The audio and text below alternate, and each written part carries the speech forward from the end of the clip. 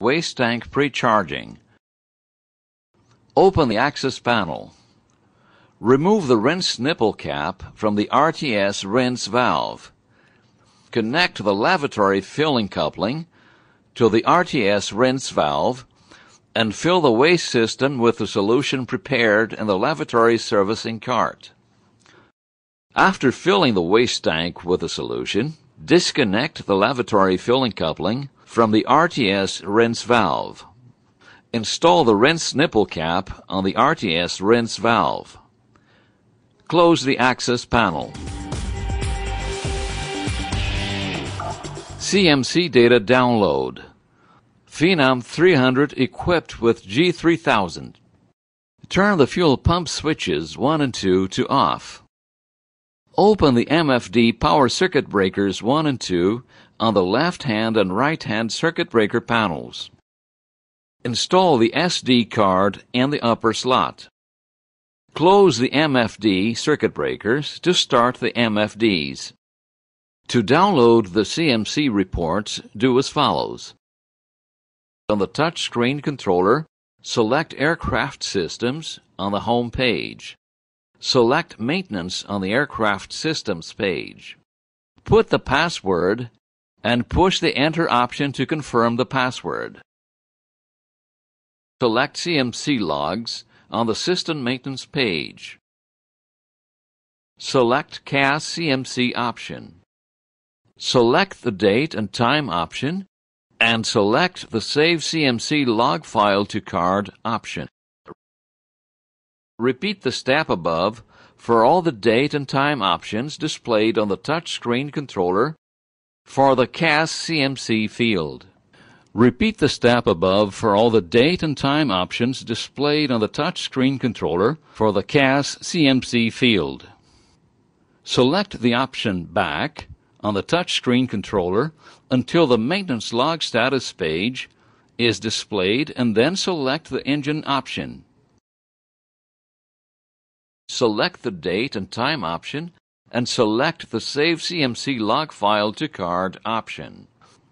Repeat the step above for all the date and time options displayed on the touchscreen controller for the engines option. Select the Home option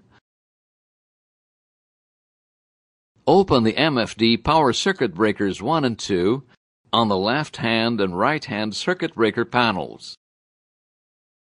Remove the SD card.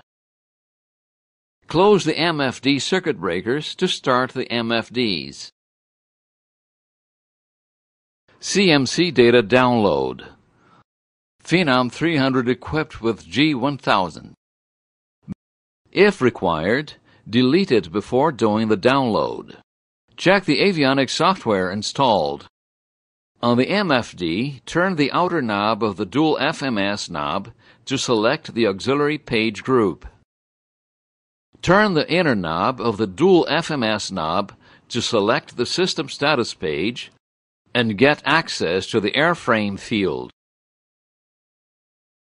On the airframe field, do a check of the avionics software part number installed on your aircraft. Turn the fuel pump switches 1 and 2 to off. Open the MFD power circuit breakers 1 and 2 on the left hand and right hand circuit breaker panels. Install the SD card in the upper slot. Close the MFD circuit breakers to start the MFDs. Turn the outer knob of the dual FMS knob to select the auxiliary page group. Turn the inner knob of the dual FMS knob to select the OEM diagnostics page. Push the inner knob of the dual FMS knob to get access to the main menu window. Turn the inner knob of the dual FMS knob to access a drop-down list and select the Reports option on the main menu window. Push the Enter key on the MFD to confirm the selection.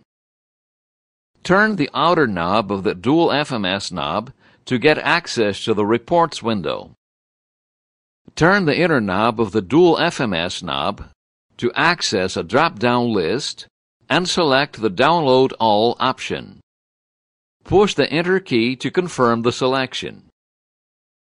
When the file saved, SD card may be removed now message is displayed. Open the MFD power circuit breakers 1 and 2 on the left hand and right hand circuit breaker panels. Remove the SD card. Close the MFD circuit breakers to start the MFDs.